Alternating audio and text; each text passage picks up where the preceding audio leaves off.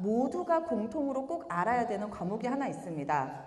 그게 바로 확률 통계거든요. 교육 과정이 바뀌면서 이 확률 통계라는 과목이 굉장히 여러분한테 중요한 과목이 될 겁니다. 이 대학 수학 능력 시험 성적표에는 확률 통계가 숨어 있죠. 수학을 포기하지 말아야 되는 이유, 해야 되는 것보다 포기하지 말아야 되는 이유가 바로 이 표준 점수에서 나타나는데요. 원점수 빼기 평균 나누기 표준 편차.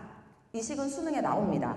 반드시 나는 해낼 수 있다라는 생각으로 꼭 도전해 보셨으면 좋겠어요. 아셨죠?